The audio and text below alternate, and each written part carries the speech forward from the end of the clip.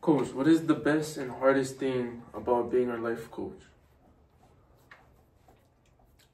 The best thing about being, you know, your guys' life coach. I mean, we never done this before. Nobody where we from ever took kids in and then wanted to life coach them. Um, so the best thing is that because we've never done this before, I get to experience watching you guys do some amazing things, and I really mean that. Like, you know, you guys come here um, with all of these innocence, and then you guys get thrown in the middle of Utah, and then we all learning together. Like, we live on an island, you know, and the best thing is watching you guys grow, become this young man that that um that I don't think your parents understand what's going on here. Like you guys have grown tremendously. Like if your friends only seen what you guys really doing, it'll, it'll be impressive, you know, because that where we from, and I'll tell you guys this. What are what is our friends doing at home? Like Like what? Yeah, drug already, Alcohol. like alcohol, um, you know, just crazy stuff. What about you? What would your friends doing at home now? Either the same thing or just doing nothing. Yeah, I mean, like, and it's okay, right? Where we from, it's everybody does it, but I, I don't want to be a part of that. And that's the best thing. I get to be a part of watching you guys not do those things. We talk about some amazing things. The hardest thing, the hardest thing about being a life coach is, um, again, watching you guys grow and me trying to get rid of your bad habits that I thought was normal, you know, and like, like this morning when we were getting in the car and he was mad because Paki never washed his face and brushed his teeth. Yeah. Like Puck, Paki. But I did brush my teeth. oh, this guy's You're a lying. liar. This guy's lying. That's it, Paki. Why you lying? Why not? You said you used the right sink. Trust his teeth. I come, teeth. Show his ah. I come into the bathroom. I use the left side. I wipe them after I I done right because I like the water in it. I look at the right sink, all dry, all dry. Okay, all jokes aside, guys. It, it's he he he might have. We we didn't see, but but it's it's um that's hard for um for me to see these guys go at it because I thought brushing teeth and washing your face was normal, but Yeah. I guess and even taking a shower. Um, I'm not saying that they do or they don't, but in the in the couple years I've been doing this, we always had somebody right in the past had no shower, and like in Hawaii, showering is important. We bathe how, how, how many times a week we bathe? How many times? No, what is it? Is it once a week? Is it twice a week? Oh no, it's every day. It's every day. Yeah. It's every day, dude. We, we bathe every day. Like, then you come to the mainland, some people, they just bathe every other day. But when you're from Hawaii, and some people adapt, like Paki, he just adapt. He's like, yeah, everybody bathe every couple of days over here. So I'm just going to do it like them. But if you go home, you got to bathe every... No, Paki. Nah, this guy's my roommate, so I cannot adapt to his smell. You can't even smell him anymore. No, I cannot that. I still smell him, so that's why I didn't go shower. But all jokes aside, the hardest thing besides all of this is like watching these brothers fight because we all come from Hawaii and we all have a standard in how we live. Um, the hardest thing is knowing that they're they're gonna go someplace good, and when you guys go home, that's the hardest thing for me.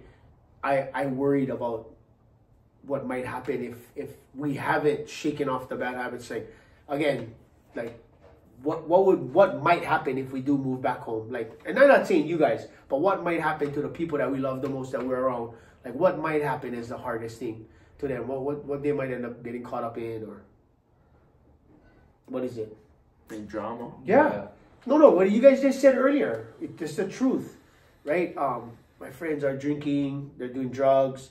Like it's normal where we're from. It's like, but is it normal up here, or at least where we live, right?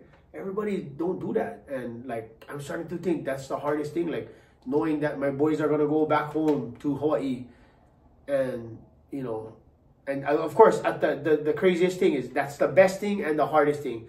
Just knowing that the best thing is I watch you guys grow, and the hardest thing is watching you guys go back home, just to go be average, you know. And I'm not saying that you, you you cannot like be great at home either, but like, you know, I've, I've said this in the past. If you hang around five idiots, you're gonna be the what? The six The six. You know what I mean? And a lot of times we get more people trying to get us to do negative things than we do positive. And here, I don't know. I've never met anybody yet that your friends and your friends that drag you into anything negative. Everything, all your friends is awesome people, right? Wouldn't you guys agree? Yeah. Right? Yeah. You- Like, like you get mainland haole friends but then you also get local brother friends at home. You know what I mean? I mean, you would take you'd bring your friends from Utah and take them home. You know, people would probably look at you guys how. Differently. Yeah, and what would they say? Trying to make fun of us. Yeah. Yeah, Jesus. that's not normal. Like, like we all about picking each other up, and and I think um, you know, I, I'm gonna end this question for you guys so we can move on. But the the best thing that I love about you two boys, and I, I do love you guys like my own sons, is you guys share gratitude, and um, that's every day we share gratitude. I know Paki's been working on it, right? Paki's working on his gratitude. He's doing good, but Yeah. you know, I gotta say, even though I'm hard on Paki, I really am, guys. Like, I I beat on his mind. That's what I beat on his mind, and I, I push him to the limits by hard coaching, um, even saying some bad words. But he still shares gratitude. That tells me he's getting rid of that old lifestyle. So gratitude is the best thing that we we have going for us in the South because gratitude is the key to success in life. When you cheer people on, you know, because you throw it out there, what can happen? Can come back. come back, and that's why we're gonna be successful. So,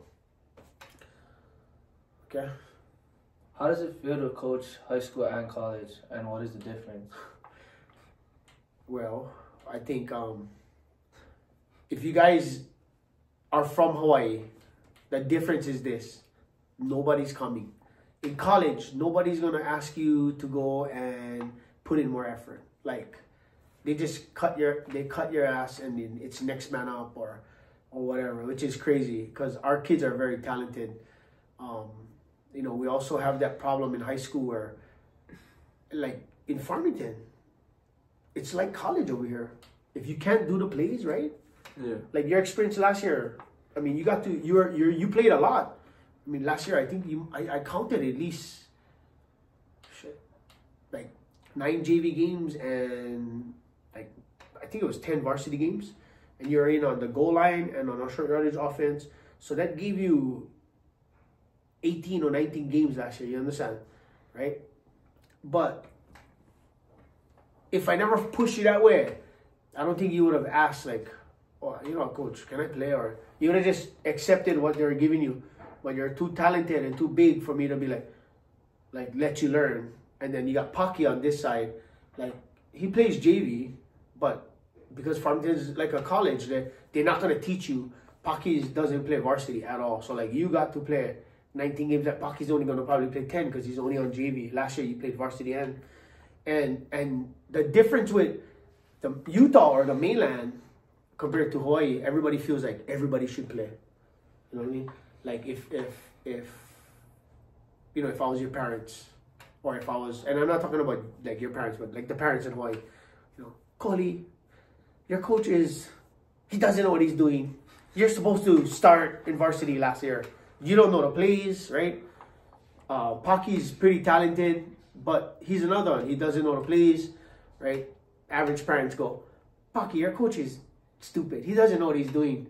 Um, he should be on the field, and then you believe this stuff, and so that that means you don't go practice, you don't go and learn the system, and so in college when you come up, don't nobody even says anything. Right now, I mean, the guys we brought up from Hawaii, they're fighting for their positions because they're waiting for somebody to go, hey, you gotta get moving. Hey, you gotta move your feet. They don't do that in the college level. And I think you guys notice more than any Hawaii kids. My point is on the Big Island because up here in Farmington, if you can't do it, the coaches ain't pulling you in. You know what I'm saying? Does that make sense? Like, like Like they're not gonna like pull you into explain a player. Nothing. anything. right? You gotta Hey, do it on your own. got to do it on your own, and you're learning that right now. Paki's learning this right now. Paki's struggling. Paki's from Waimea. He would be playing at Honoka'a, and like I'm not saying anything about Big Island football, but we we're chasing one more championship. We're chasing one more win. When realistically, what I'm chasing is on one great education for them. So knowledge is power. The more he learns, the better he gets. When I say education, I'm not talking just school. I'm talking the game of football, the game of life, and then school. And nobody wants to help Paki because the coaches set it up that way. You go on your huddle, um, and that's where our plays are at, right? Yeah. On huddle. So like no coach is like, oh here, you- here you go, Paki. Sit down with coach and let's draw it out. Um, a great guy. Um, his name was Kurt Kaeo Drummondo. He um, coached at Hilo High from 2014, I think, to 2019, and they won the states. Um, two out of the three years they played, and that guy used to sit our kids down in high school and draw plays day after day all year round, and he would go over huddle and he would do those things. I thought everybody did that, and they don't. Not in the mainland. Definitely not in college. So when you when you find a coach that loves what he does, you guys gotta get to him. Like I love Dusty. Dusty is on a hammer coach. Yeah, McQuivy. Crazy. This guy's coach is unreal. Our head coach, Daniel Coach at Farmington High School. huh, That guy is the most humblest, biggest man I've ever met. That guy doesn't even yell. He's like, "Hey, buddy, you gotta do a better job." And I'm like, "What?" Tell Paki.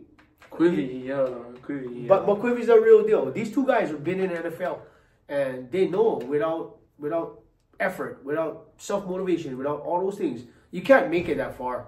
And in Hawaii, and again, I will talk about Hawaii. Um, the question from Paki was, what is the difference between college and high school, or high school and college? In Hawaii, everybody's telling telling their coaches or their their peers or their friends, my boys on D one college, just check their grades. Just look at what kind of grades they are. I don't care if they're really that good. If this guy's size, if they cannot get decent grades, they're not going to the D1. And that's what we gotta we gotta just start being open about it.